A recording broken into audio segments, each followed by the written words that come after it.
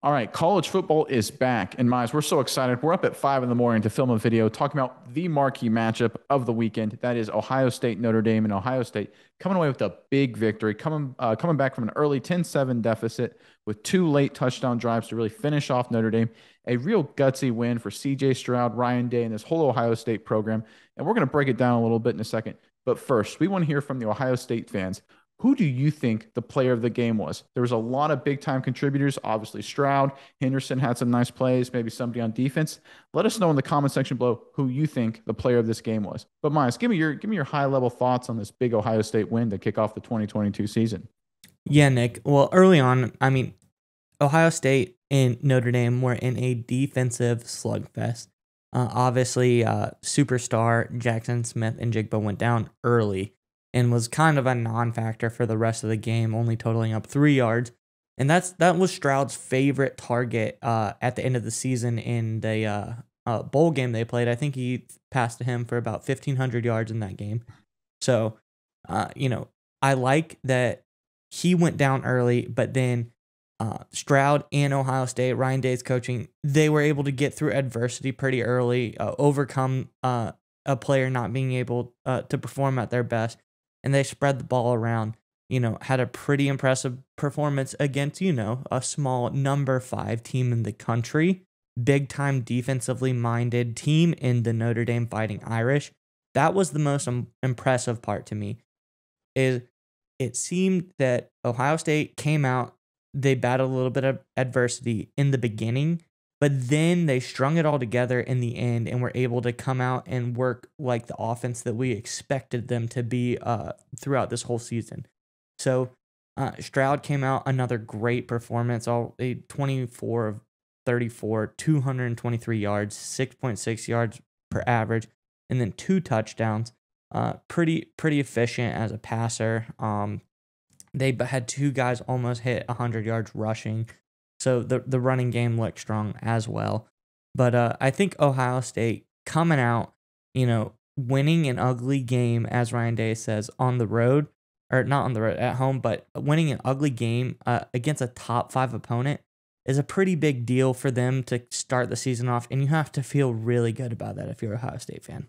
Yeah, and going into the game, I think the line was like Ohio State minus 16 and a half or 17. Like they were huge favorites, which is really bizarre because Notre Dame gets kind of, you know, they, they get a lot of disrespect, but this is still an elite program. They may not be Alabama, they may not be Ohio State, they may not be Georgia, but this is still Notre Dame. They get four or five star recruits, big time coaches. I mean, this is a, a legitimate top 10 program. And so to come in and, and have to live up to an expectation of, oh, you're going to beat Notre Dame 45 to 14 was a little unfair for Ohio State going into it, I think. And obviously losing the uh, receiver early, that's going to any you know throw off the rhythm of your offense. But one thing I really liked about CJ Stroud's performance is that sometimes with quarterbacks, it's not about making you know the high volume plays, throwing for 450 or 500 or so. It's making the big plays when you need to. And Stroud, time again down the stretch, he made the big time throws. I remember there was one third down you know, in the in the drive, the scoring drive that ended up icing the game and put him up 21 to 10. I think he was under pressure, rolling to his left. He's a righty, and somehow it's, it's just got guys in his face and drops in a beautiful sideline rope to I think the running back uh, Williams, I think Miyan Williams, who who dragged his toes for a huge first down. It was unbelievable play. I mean, it's an Aaron Rodgers esque type of play from CJ Stroud. Really, really impressive. And watching Stroud in this game, obviously with you know with the little hurt in the weapons department, he didn't get as many big plays as he used to. Obviously, trying to replace Olave and, and Wilson, who are now in the NFL. I loved his accuracy and his ball placement. I mean, you don't see that as much from college guys. Sometimes they're a little more aggressive, more, you know, sometimes a little over the map. Stroud is just not that at all. He's very uh, consistent. He's very accurate, puts the football exactly where he wants to. And again, we talked about it in our analysis of another game.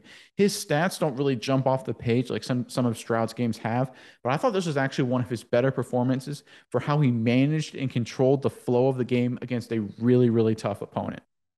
Yeah, Nick. And, you know, even with uh, middling stats for Stroud standards, still really good game yeah, yeah. overall.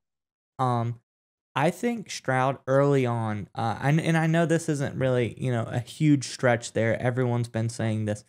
But for me, he looks like my top Heisman candidate right now, coming out against a top five team in the country, putting on a performance like this, even when your uh, best star receiver goes down early, he looks like he's going to be fine. But, you know, early on, you don't have him for the game against one of your toughest opponents so far uh, this season.